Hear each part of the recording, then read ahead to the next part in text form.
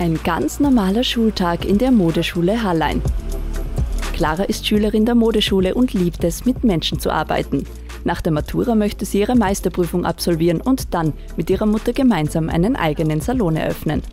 Bis dahin gibt es aber noch einiges zu lernen. Dafür sorgt die Modeschule mit der Ausbildung für Hairstyling, Visagistik und Maskenbildnerei. Clara zeigt an ihrer Kundin den Weg zum Hingucker Winter-Make-up.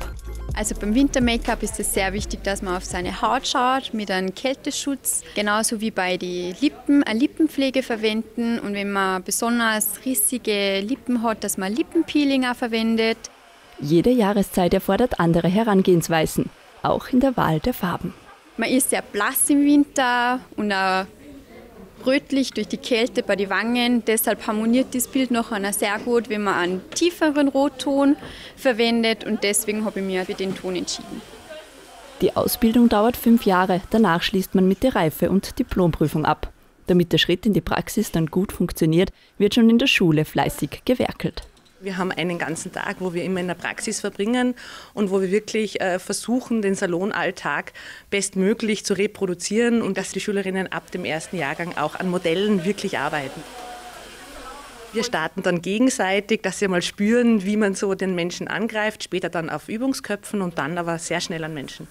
Für die Organisation ihrer Modelle sind die Schüler selbst verantwortlich. Freunde, Tanten, Eltern, jeder darf einmal den Kopf hinhalten. Ähnlich geht es bei der Höheren Lehranstalt für Mode zu. Im ersten und zweiten Jahr liegt da der Fokus auf der kreativen und handwerklichen Grundlagenausbildung. Danach vertiefen die Schüler in Richtung Modedesign und Grafik oder hin zu Visual Merchandising und Modemarketing.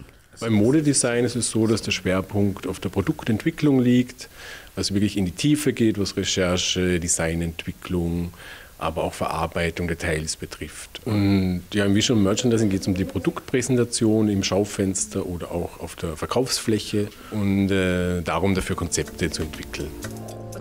Juliana und Georg besuchen das berufsbegleitende Kolleg für Modedesign.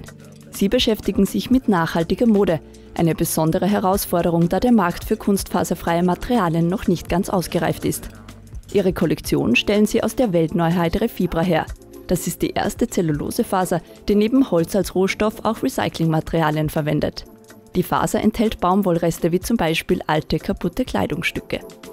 Bei dieser Kollektion ist aber nicht nur das Material besonders.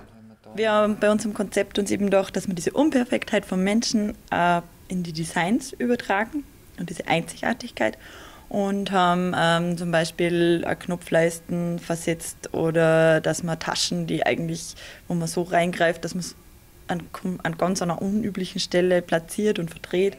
Von der Bleistiftzeichnung bis zum fertigen Produkt. Alles liegt in den Händen der Schüler.